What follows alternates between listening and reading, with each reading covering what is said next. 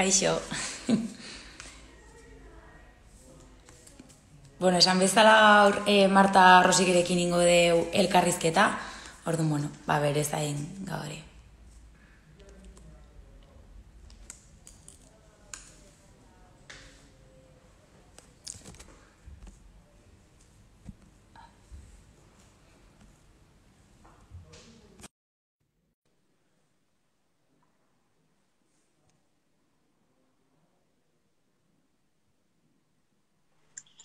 Hola Marta. Hola. ¿Me ves? Sí, sí, sí, bien. ¿Sí? Vale, Sí, sí, qué bien. problema. ¿Cómo Perfecto, va? ¿qué tal? Bien, Bien, ¿y tú? Bien. Está chulo esto. Sí, ¿Nos ven raro, los de, ¿no? los de aquí? Se puede ver, ¿no? Nos pueden enviar comentarios por aquí también. Sí, eso es. O sea, pueden Perfecto. interactuar, pero bueno, en principio vamos a hacer entre las dos y sin hacer mucho Vale, caso, que si no, ningún vale. problema. ¿Qué tal? ¿Cómo estás? Bueno, aquí de campaña, ya sabes, aquí ya una semanita llevamos, así que con tranquilidad, que si no nos agobiamos y no es plan, así que, bueno, Una campaña diferente realmente con el tema del coronavirus. Muy diferente, está siendo muy, muy diferente. La verdad que, aun y todo, no me lo esperaba tan, tan bonita, ¿eh? La campaña. Está Sí. siendo diferente, pero guay. Me está pareciendo bastante guay, sí. ¿Qué hacéis? Muchas más cosas online, ¿no? Imagino. Pues sí, yo creo que esto al fin y al cabo viene un poco a eso, para poder conectar un poco Claro. con la gente también de otra forma. Sí, sí. Pero bueno, la- los mítines y así son diferentes. La gente tampoco está tan, tan motivada, pero bueno, luego ya se, ya se nota fuerza. Yo Bueno, seguro que sí. Seguro que sí. Bueno, hay bastante gente conectada, así que esto está sí. bien. Y eso que la hora no es muy buena, pero bueno. Bueno, Vamos haciendo. Pues empezamos un poco. La verdad es que, bueno, te iba a hablar en catalán, pero mira, se me ha olvidado, así que ya no sé, no te sé decirlo. Así que, bueno, estamos, yo estoy súper contenta de que estés hoy con nosotras porque, bueno, ya nos conocemos, ya sabemos quiénes somos y, bueno, un placer que estés con nosotras porque, bueno, eres la diputada más joven del Congreso Español, una cara nueva pero, pero súper activa y, y, bueno, pues estamos súper orgullosos también de que, de que estés con nosotros y que, y que seas un activo también para nosotras. Eh, bueno, estamos, estamos con Marta Rosique, eh, muchísimos de vosotros ya, lo, ya la conoceréis. Ella es eh, catalana, tiene 24 años, es de mi misma quinta y ha estudiado dos carreras, en vez de una, dos, periodismo y ciencias políticas. Y bueno, es militante de Joven República, de las Juventudes de, de, de Esquerra, y es ahora mismo pues diputada de, del Congreso del Estado español, que eso son ya palabras muy, muy mayores. Sí. Y, bueno, tú pronto también vas a ser una diputada más, por Sí, tanto, bueno, esperemos. esperamos que sí. Sí, yo creo que sí, yo creo que sí. Y bueno, pues hoy la hemos invitado un poco, bueno, a mí también se me hace súper raro ¿eh? hablar en castellano, porque la verdad que no he dado ninguna charla ni nada en castellano y se me hace un poco raro, pero bueno, hoy te invitábamos un poco para que hablásemos las dos pues del presente, del futuro, de la juventud, de la política institucional, un poco de todo. Así que, bueno, queríamos empezar eh, la charla, o bueno, este directo hablando contigo de, de, estas cosas y te haría la pregunta típica que supongo que te, que te hará todo el mundo y creo que es la, la, pregunta que nos hace todo el mundo al tener 24 años y ser chicas jóvenes. Y bueno, por un lado, ¿qué entendemos un poco, qué entiendes tú por, por política institucional? Y, y, sobre todo, cómo, cómo hilamos un poco la juventud y la política institucional y también por qué diste este, este paso hace ya un añito.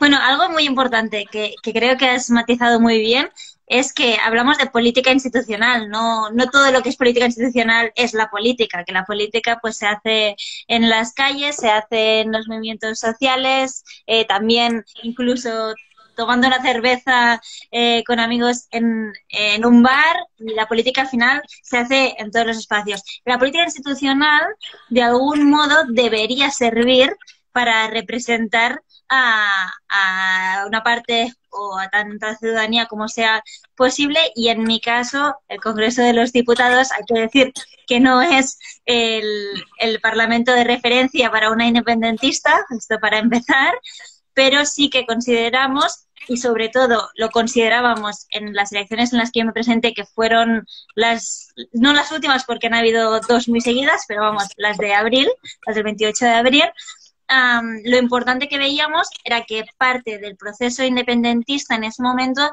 también podía pasar por aquello que, sucediera en el Congreso de los Diputados y por tanto por eso me acabé presentando. También hay que decir que en su momento pensábamos que habría un gobierno de derechas y que por tanto sería incluso más necesario que nunca estar ahí también haciendo frente al fascismo. Hemos encontrado una situación distinta, pero eso también igualmente implica, implica estar presente. A nivel de juventud, sí que es cierto que acostumbra a quedar muy lejos la política institucional para la gente joven, y esto es lógico, pero también eh, el motivo, uno de los motivos es porque precisamente hay pocos representantes que sean jóvenes y pocos representantes jóvenes que se preocupen por la juventud, porque esto te encuentras eh, totalmente y muchas veces en el Congreso de los Diputados que gente que es joven luego se olvida de que es joven una vez llega en el Congreso.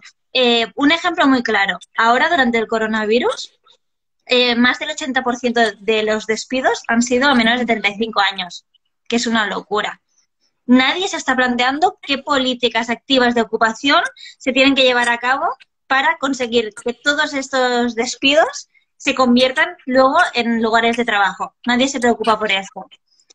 Solo la gente joven somos los que estamos pensando en cómo reaccionar al respecto. Entonces, eh, por eso creo también que es importante. No sé también cómo está la situación en, en Euskadi, si, si, hay gente joven ahora mismo representando y, qué es lo que creéis que también se puede hacer, que aquí también habrá mucho trabajo que puedas hacer una vez tú estés ahí. Pues sí, sí, sí. Eh, bueno, todo lo que comentabas, bueno, lo puedo corroborar perfectamente porque es que tienes toda la razón del mundo, las cosas como son, pero sí que yo creo que hay que resaltar muchísimo también el por qué se nos hace tanto esa pregunta, ¿no? Yo pues eh, el día que decidí que sí, sí iría en las listas y que seguramente podría, podría ser parlamentaria en Gasteiz, en, en, nuestro Parlamento, la pregunta típica es el ¿por qué te metes? O sea, eh, ¿por qué vas? Claro, asociamos ya la imagen de política institucional con el hombre adulto y nosotras seríamos la antítesis de eso, ¿no? Y, creo que nuestra campaña también refleja, refleja eso muy bien. Eh, vamos con una reivindicación muy clara y, es que la política no es de los hombres con corbata, no es solo de los adultos hombres con corbata, ¿no? que nosotras también podemos, podemos decidir sobre nuestras vidas, sobre nuestros problemas, sobre nuestros cuerpos. Y eso, al fin y al cabo, creo que estos planteamientos son, eh, bueno, bueno que venimos desde una trayectoria feminista militante y son, bueno, pues el reflejo, el reflejo de eso. Eh, existen problemas trascendentales y transversales en nuestras vidas y desde luego la política institucional tiene que ponerlos en el centro y tiene que empezar a hablar de bienestar de las jóvenes de una vez por todas. Y para eso, como decías tú, y creo que es muy recalcable eso, hay jóvenes en la política institucional, pero claro, son jóvenes eh, representantes de partidos mm, que están, son totalmente tradicionales y son opuestas opuestos a, nuestros, a nuestras reivindicaciones, ¿no? Y eso sería un poco, un poco eh, el planteamiento o, bueno, lo que me lleva a mí también a, presentarme. Al fin y al cabo, porque nuestros intereses pasan porque, porque nosotros las defendamos, ¿no? Y también quiero decir, y creo que esto es mm, importante para mí, por lo menos, porque llevo años un poco pensando en eso, eh, yo también creía que para tomar parte activamente en la política institucional, bueno, pues sí que tienes que tener un poco de experiencia en la vida, eh, madurez, seriedad, ¿no? Y eso un poco se refleja o se, o se representa en la edad adulta. No voy a hablar, bueno, sí, en la edad adulta. Y la juventud sería un poco más de rebeldía, insensatez, ¿no?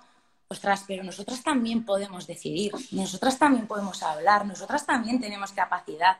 Yo, bueno, no sé las capacidades eh, políticas o la capacidad eh, jurídica que podemos llegar a tener o podemos llegar a saber, ¿no? Pues cómo funcionan las, instituciones. Todo esto está corrupto y esto también hay que saberlo y hay que controlarlo poco a poco. Pero ya aprenderemos. O sea, sí, tenemos 24 años, pero ostras, capacidad tenemos, capacidad tenemos todos. Y es un poco, pues, ese, ese planteamiento y estas dudas, de hecho, yo todavía las tengo, estas dudas de qué estoy haciendo ahí, ¿no?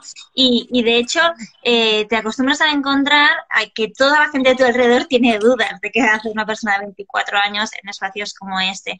a mí, bueno, me han llegado a hacer entrevistas que te lía con algunos comentarios, por ejemplo, a mí sí que me preguntan por mi sueldo, pero una persona adulta nunca le preguntaría. Esto es. Eh, el otro día bajando a la tribuna me gritaron cachorrillo, ¿vale? Esta es la situación en la que nos encontramos. La gente te pone en duda constantemente y yo creo que lo más importante de todo es tener también gente detrás tuyo y, sentirte representante de, un colectivo.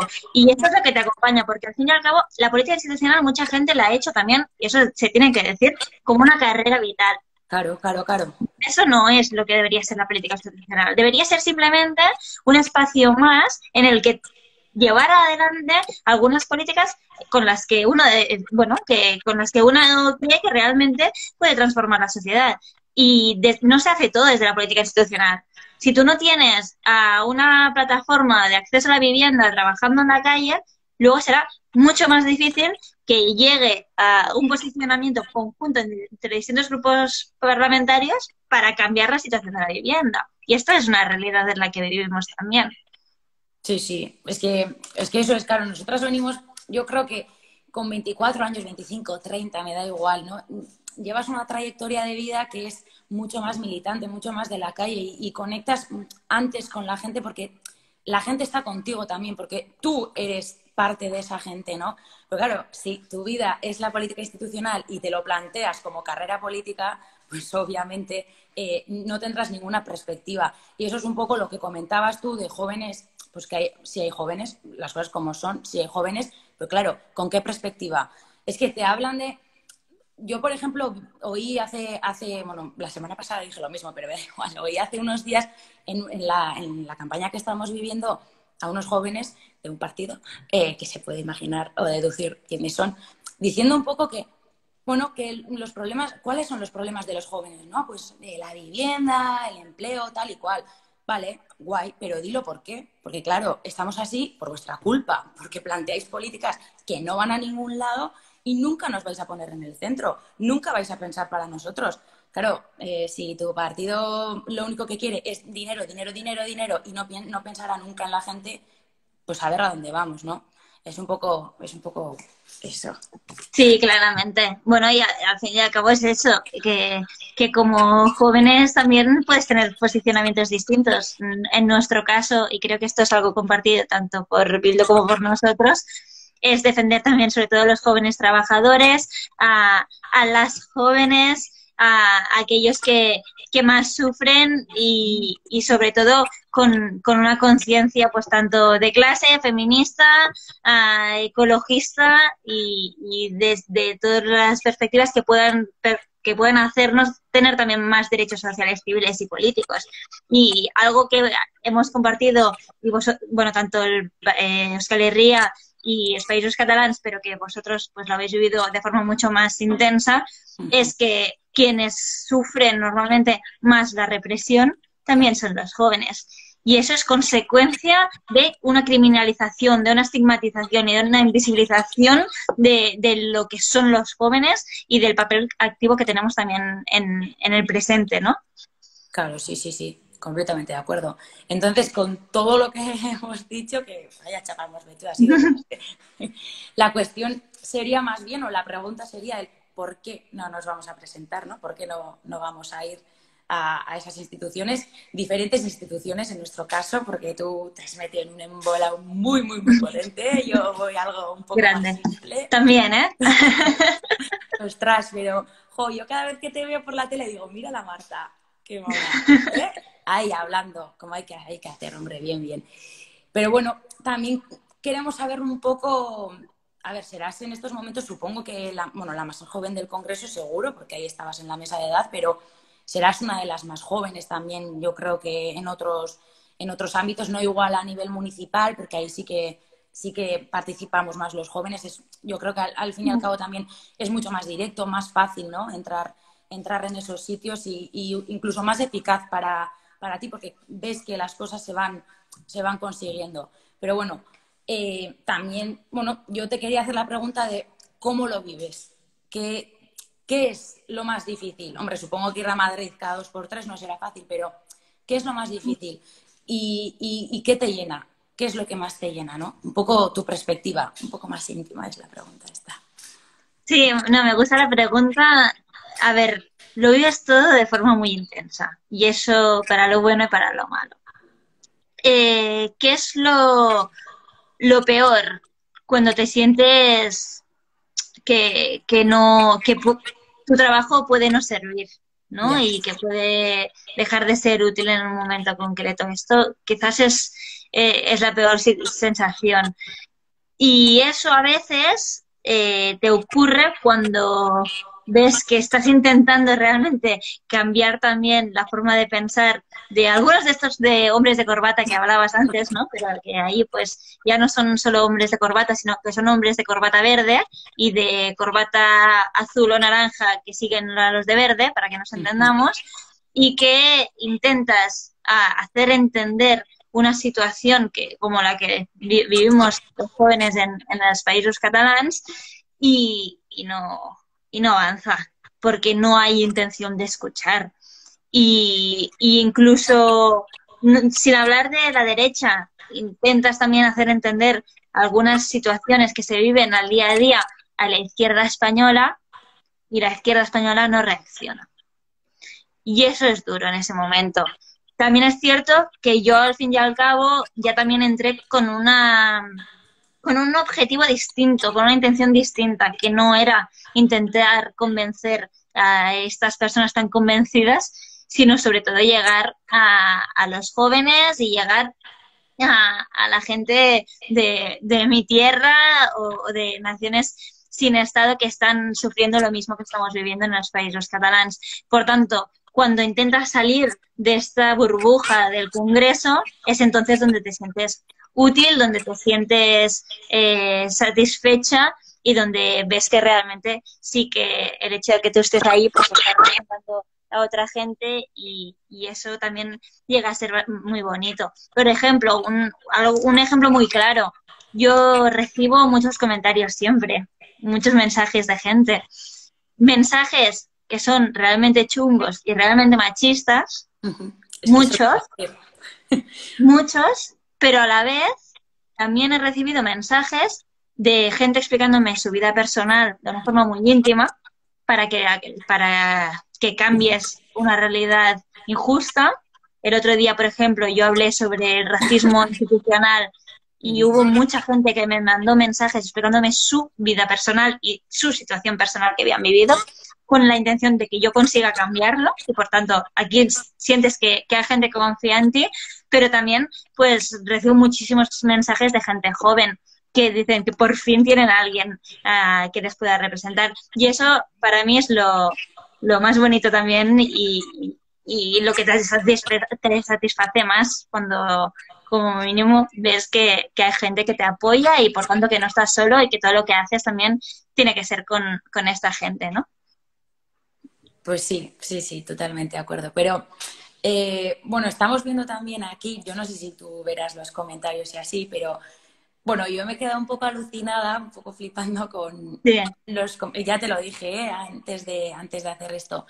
Eh, bueno, hablamos muchísimo de las redes sociales y yo creo que, bueno, no vamos a ponernos si son malos, si son buenos, porque eso es una tontería que no va a ningún lado, pero sí que estoy viendo y en la campaña que estamos haciendo estos, estos últimos días también, eh, que se están cebando un montón. O sea, eh, cómo nos machacan en, todos los aspectos, ¿no? Eh, o se meten con nuestro físico o, por lo, que vas a decir o con tu partido, o me da absolutamente igual, como si fuésemos al ser caras visibles yo entiendo, entiendo las críticas, o sea, no estoy, eh, no estoy en contra de las críticas, es que, que me critiquen bien, pero, ostras, vaya formas, qué, qué harto, qué fuerte, qué... Pero ¿qué contra nosotras? ¿Qué, les hemos hecho, no? bueno, yo creo que hay una parte de ser mujer, esto para empezar, una parte de ser joven, una parte de ser independentista y, y, aquí, pues a partir de eso, pues también tienes que saber con quién rodearte y, y qué tomarte en serio, porque hay muchos comentarios que no te tienes que tomar en serio. Mm, para, yo, por ejemplo, he llegado a recibir en un día, de repente, no sé cuántos mensajes de, de gente que considero pues fascista, diciéndome que se están masturbando pensando en mí. Es que esas son cosas que, recibes y que, y que, no tienen ningún sentido. Seguramente pues, se lo pasaron por un grupo de WhatsApp y decidieron mandarle a todo el mundo. Pero bueno, eh, a estos ni les escucho, ni les respondo, ni voy a, a malgastar tiempo con ellos. Cuando una crítica a mí me importa es cuando es una crítica constructiva, que es una crítica de alguien que, que en algún momento se ha sentido representado por ti y que en algún momento deja de sentirse representado. Y, para mí esto es lo importante, es por los que nos deberíamos preocupar. Pero bueno, ya te digo, intenta no, no leer estos comentarios, es que es lo mejor que puedes hacer. que los leo sin querer. Es, es lo mejor que puedes hacer y aguantar y sobre todo darte cuenta de que una cosa son los mensajes de Instagram y otra cosa son los comentarios de la calle a mí no me insultan por la calle. Claro, sí, Gracias a Dios. en cambio, eh, por Instagram, pues pueden hacer lo que quieran. Es que la gente también tiene mucho morro cuando está por las redes sociales y luego cara a cara, pues este morro desaparece. Por tanto, es eso, seguir luchando y saber por quién luchamos. Para no malgastar tiempo ni fuerzas que, que las necesitamos también, sobre todo. Pues sí. A ver, a ver si me acostumbro ya a estas tonterías, porque yo estas cosas no las entendía así y de repente cuando me vi en una foto y cuatro comentarios tontos dije, pero tú, chocholo, que no tienes vida o qué pasa. Es que, uff, me puse muy de mala leche. Y luego me metí además en tu, en tu Twitter y dije, buah, esta le pondrán también. Y efectivamente vi comentarios y comentarios y dije, buah, qué horror, qué, qué pereza. Yo nunca busco qué, dicen de mí, pero el otro día lo busqué, de hecho, y el debate era sobre si era guapa o era fea. Ya, ya me que eso es. Por mucho que puedas decir, no, no escuchan, por tanto da igual pasar de esto y, y tirar hacia adelante luchando, que es lo importante, que es por lo que venimos, no para ser guapas o feas, que para eso pues ya seríamos modelos, ¿no?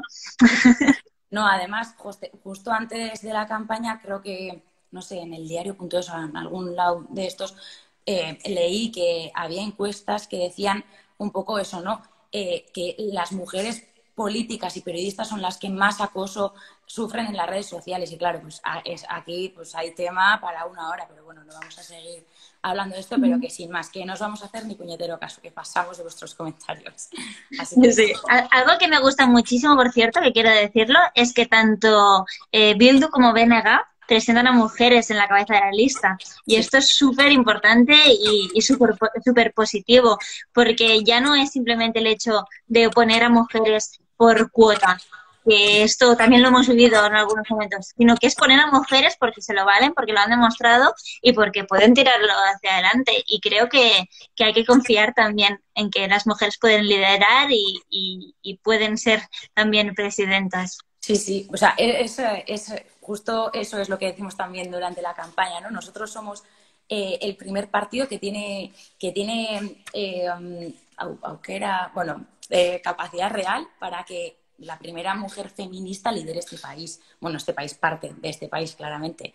Pero bueno, joder, que también eso, eso ilusiona y creo que, creo, creo que eso, eso es un punto a favor muy potente y que nos puede hacer, pues bueno, ganar, así, que vamos a ganar, a eso vamos. Pues eso que dices, mujer feminista, porque luego también aquí no, se trata de poner a una mujer, se trata de que, de que la mujer sea feminista y que luego también nos defienda, ¿no? Y eso es lo importante. En ese caso lo tenemos en Bildo también asegurado.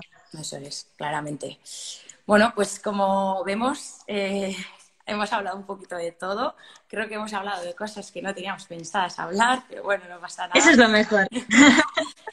y bueno, eh, bueno, también hay que decir un poco que no es una cosa fácil dar, dar este salto, ¿no? Igual eh, estar en las instituciones, porque además son es un planteamiento que te tienes que hacer a, a, vista de futuro, ¿no? Porque son cuatro años. O sea, ostras, y cuatro años, nos hemos pasado cuatro años estudiando la carrerita, así que quiero decirte, es algo un poco difícil, pero bueno, estamos también en, una fase de incertidumbre, ¿no? Al ser, en nuestra edad, todos los jóvenes sufrimos estas fases de incertidumbre, acabas la carrera y no sabes qué hacer, acabas eh, lo que estás estudiando, lo que estás haciendo y ya no tienes ni idea de lo que vas a hacer porque nadie te va a dar trabajo tampoco. Entonces, es un poco como incertidumbre y, ostras, dar ese paso también es un poco chungo, difícil, ¿no?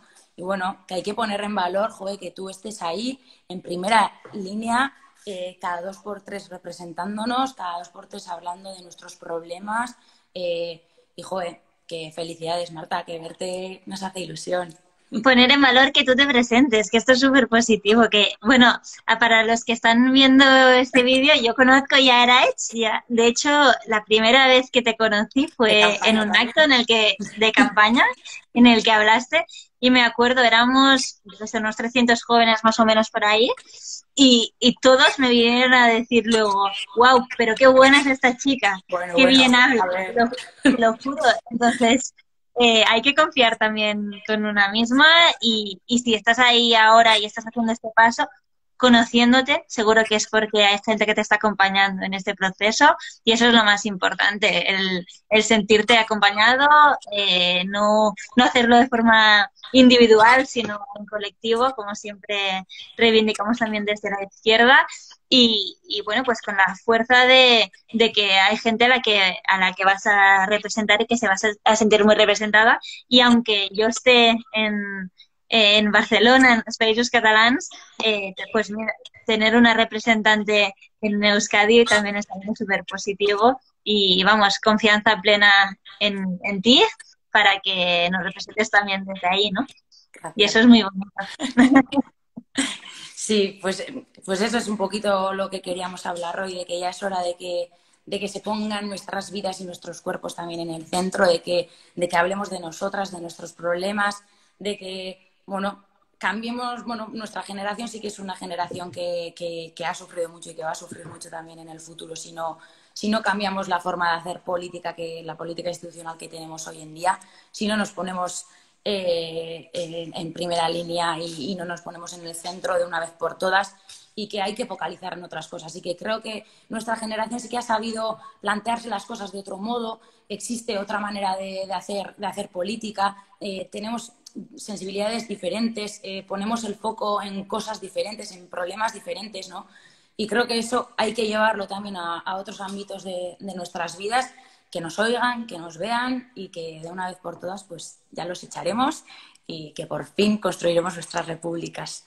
Por mucho que los fachas nos digan de todo. Es que de verdad, pereza de gente y que la derecha española o vasca, sobre todo en este caso vasca, eh, merece también que, que le aparten y que vengan fuerte gente joven, mujeres jóvenes, también a, a, reivindicar los derechos de los jóvenes, ¿no? Con más fuerza que nunca. Y eso, pues, por eso es tan importante también estas elecciones y, y por ello, aunque en los países catalanes ahora no haya elecciones, yo sí que tenía el interés de, participar de algún modo u otro con vuestra campaña para daros todo el apoyo del mundo, porque al fin y al cabo también algo que nosotros hemos venido reivindicando en los países catalanes es que para conseguir la independencia, eh, algo que tenemos que, hacer y que eh, debemos ser conscientes de ello es crear aún más eh, estas sinergias entre naciones sin Estado que estamos llevando a cabo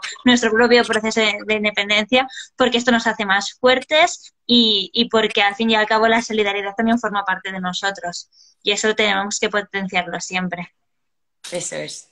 Pues muchas gracias, Marta. Un placer estar contigo. Espero verte pronto. Que gracias a ti.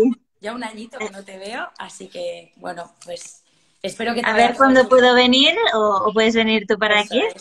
y bueno, muchísima suerte con la campaña, por lo que queda. Y nada, bueno, todos los que estén escuchando a votar a Eraitz y por tanto a votar a Bildu. Eso, eso. Buscate H Bildu esa story. Bueno, muchas gracias Marta, de verdad, eh, por estar esta media horita con nosotras y, y por contarnos tu experiencia, porque creo que es súper interesante que pocas veces eh, hablan, hablan las jóvenes que están en primera fila y, y gracias, de verdad. Gracias a ti, un abrazo enorme. Bueno, adiós. Agur. Agur.